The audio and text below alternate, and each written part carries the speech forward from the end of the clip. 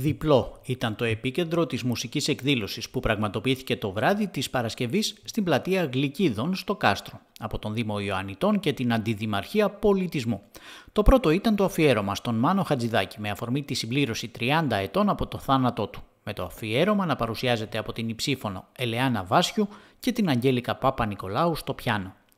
Το δεύτερο όμως ήταν η δυνατότητα της γνωριμίας του κοινού με την καινούρια πλατεία στο Κάστρο εκεί όπου βρίσκεται πλέον ένα από τα νέα επίκεντρα της καστροπολιτείας με τις παρεμβάσεις ανάπλασης να έχουν ολοκληρωθεί στον κοινόχρηστο χώρο και να εξελίσσονται έργα στην Οθωμανική Βιβλιοθήκη και στο Οθωμανικό Λουτρό.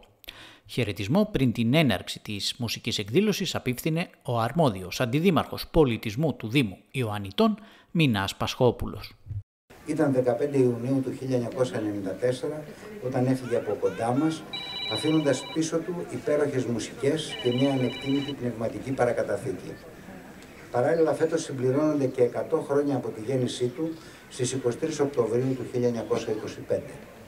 Η μουσική του, διακριτική και συνάμα αποκαλυπτική, μας οδηγεί σε ένα ταξίδι συναισθημάτων και αναμνήσεων, μας συγκινεί, μας θυμίζει την ιστορία μας, τα όνειρά μας, τον πόνο μας και μας παρασύρει στον άφταρτο κόσμο της ομορφιάς και της ποιητικής της διάστασης.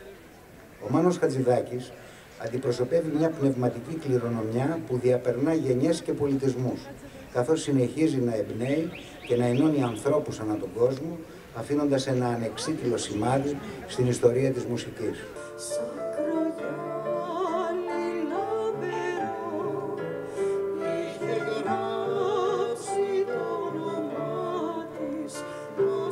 Thank you.